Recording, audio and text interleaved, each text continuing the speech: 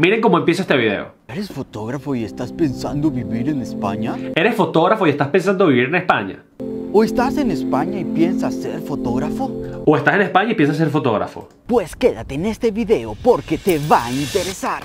Pues quédate en este video porque te va a interesar. No hay mejor inicio para un video que esto, porque te está diciendo exactamente qué es lo que te puedes esperar de este video, te está hablando a ti, te está, te está preguntando quién eres tú y si eres esa persona, haz esto, o sea, quédate en este video. a nivel de marketing y a nivel de comunicación, este video está clavado por lo menos el inicio para capturarte. Muy buen trabajo, eh, Robert. Está muy bien el video. Sí, es verdad que puedes mejorar ciertas cosas. Por ejemplo, intenta...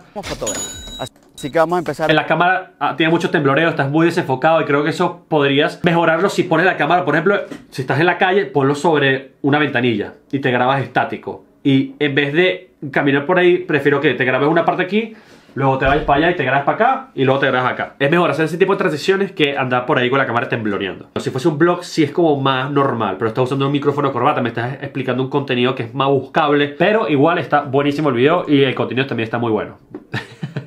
Esa cara también está muy buena, ah, Robert.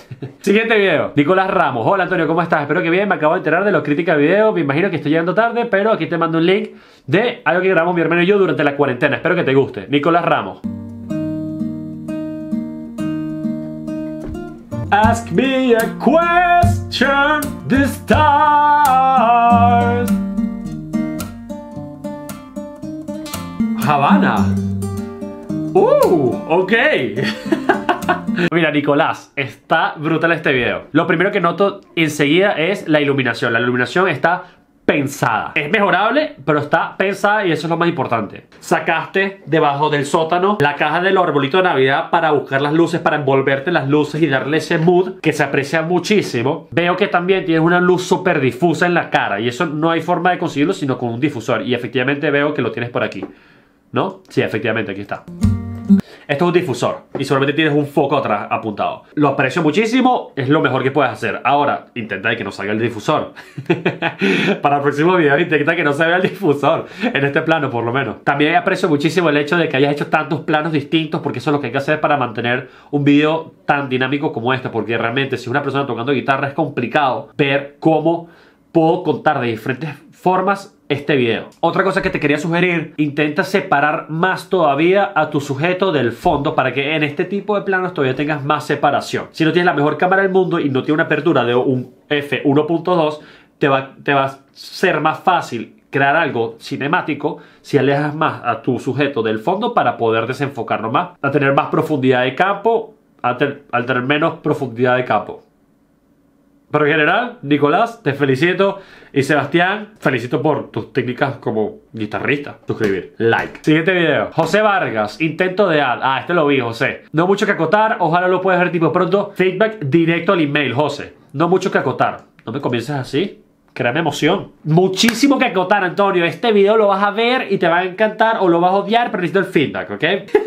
Mr. Antonio, ese es un buen toque. Este es un video de ArtGrid. ArtGrid es una plataforma, esto no es publicidad, que venden stock footage y lo que hacen, lo que hicieron fue crear un concurso para que las personas como José o ustedes puedan participar y ganar un montón de dinero o premios. No me acuerdo cómo es la cosa. Creo que funciona de que ellos te dan unos materiales y tú tienes que hacer una edición con una canción. Vamos a ver el comercial que hizo José, que editó José. Porque esto no está grabado por José, esto lo grabó ArtGrid. Que por eso es que se ve la marca de agua terrible en el medio, entiendo yo. Artlist.io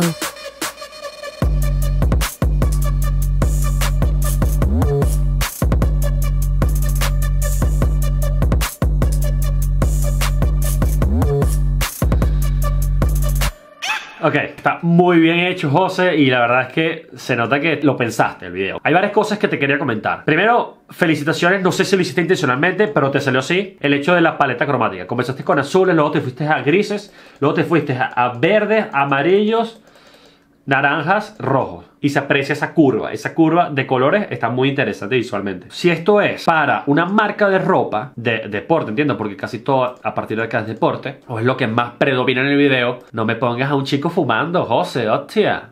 porque es que si me pones a un chico fumando y luego hay jugando básquet, pues yo estoy confundido. no, no sé, entonces tengo que fumar y jugar básquet. no entiendo. Sí aprecio muchísimo que no hicieras ninguna transición de estas cliché. Te limitaste a editar el ritmo de la música y en muy determinadas ocasiones hiciste una exposición doble como esta, como esa y algún flair pequeñito. Se aprecia, es elegante, es sutil y es lo que creo que hay que hacer. Me encantaría que nos escribieras a todos nosotros en los comentarios. ¿Qué aprendiste haciendo este challenge? Porque yo no lo hice y me hubiese encantado hacerlo, pero me encantaría que nos dijeras en los comentarios abajo. ¿Qué, aprendiste tú de esta experiencia de sentarte a hacer, a editar esto? ¿Qué aprendiste? ¿Qué decisiones tomaste? ¿Por qué hiciste como lo hiciste las cosas? Creo que vas a aprender muchísimo de hacer esta introspección y si nos las compartes en los comentarios abajo para que todos aprendamos también, creo que sería, sería Sería muy buena tu parte. Siguiente video de Wilbert Mariano. Soy filmmaker de Saturno, a.k.a. Barcelona. Hermano Wilbert, llegaste al sitio correcto. Vamos a criticarlo. Brutal ese título. Me encanta que no sé qué dice en chino o en japonés o en coreano, pero esto está muy interesante. Overdose. Ok, Wilbert.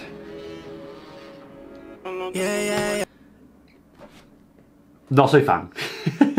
no soy fan de no utilizar los ratios correctos en los videos. Este video es usualmente tiene las típicas barras negras cinemáticas y esto es un trend que está en YouTube muy fuerte de que todo el mundo quiere ponerle las barras negras cinemáticas a sus videos. Miren este video de Maluma. Maluma Pirata, creo que se llama. Marinero. Este video está grabado con unos lentes anamórficos que cuestan como 4 mil dólares y tiene un formato igual a este video. Solo que la secuencia en el editor en Premiere está creada para ese formato. Mire por ejemplo estos dos videos que hicimos para David Riz. El video de abejas tiene un formato alargado y el video de corazón de limón tiene un formato clásico Full HD.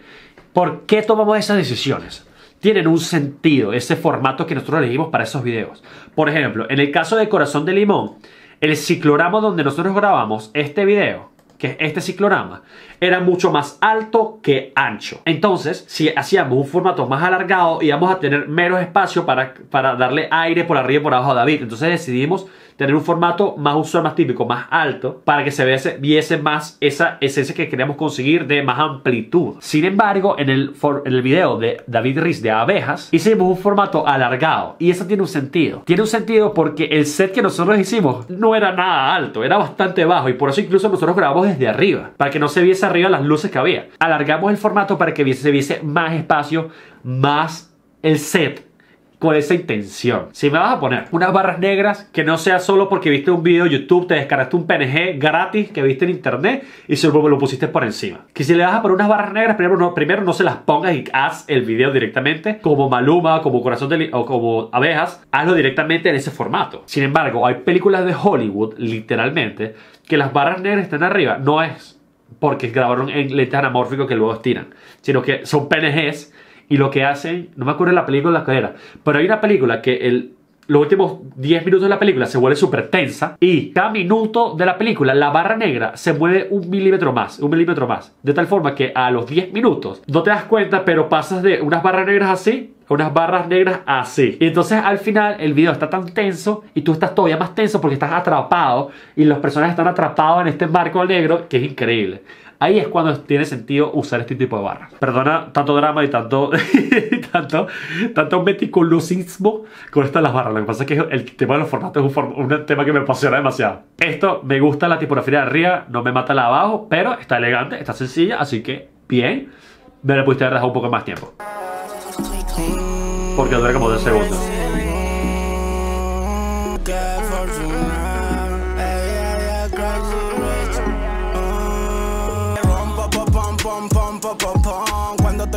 Ya me había visto el video y la verdad es que me gusta, la canción de Primo está buenísima, me gustó todo el video, las localizaciones que elegiste, la ropa, el acting y sobre todo el hecho de que hayas buscado hacer una historia y no te hayas quedado simplemente el chavo rapeando de frente a la cámara. Que hayas buscado esa iniciativa de buscar una pequeña historia, por más sencilla que sea de un chico y una chica, una cita, está bien la intención, está brutal, eso es lo que tienes que hacer. ¿Cómo lo hubiésemos podido mejorar? Si de repente no me presentas todos los escenarios del primer minuto de la película.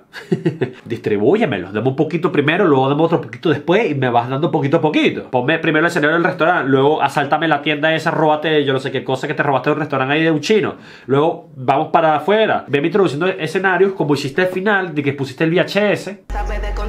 Y ahí me, me- me- me cambiaste un poco el mood del video y haces que me mantenga queriendo verlo. Si me haces más cosas de estas durante lo largo del video, mantienes más la atención del espectador durante más tiempo. A nivel visual, eso es algo clave. Pero en general, el hecho que hayas buscado hacer todas estas cosas, se nota que le pusiste demasiado corazón a este proyecto y al final eso es lo, lo más importante de todo. El resto viene con la práctica y haciendo un millón de videoclips.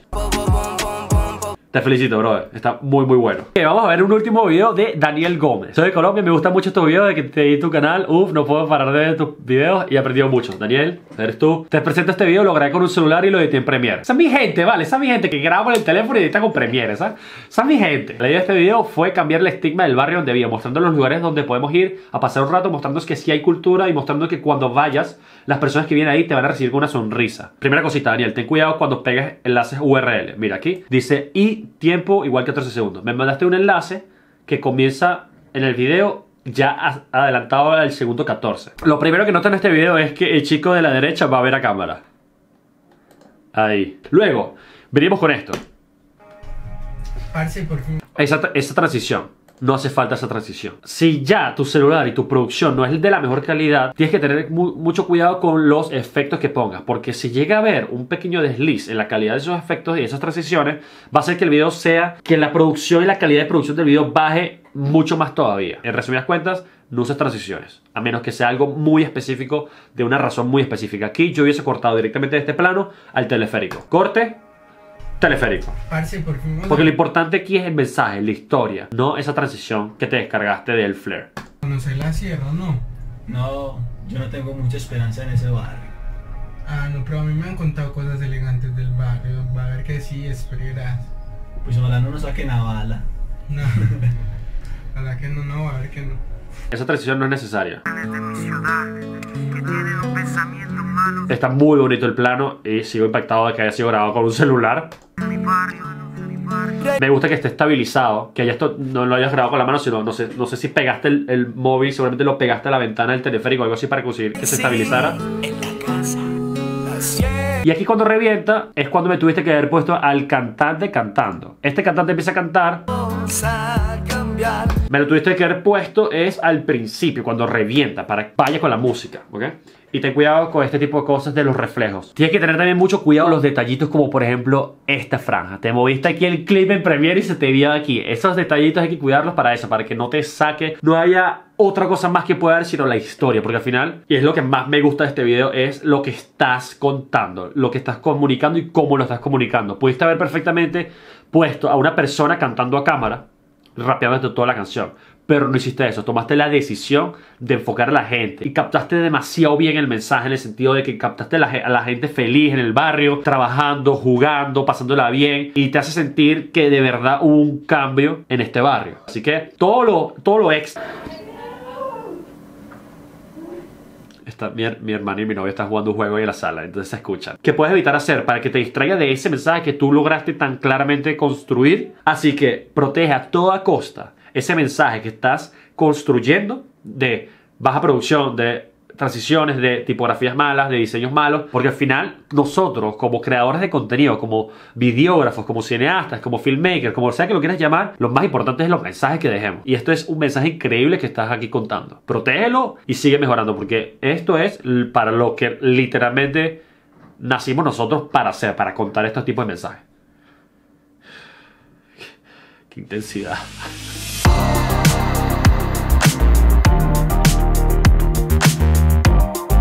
Ask me a question this time.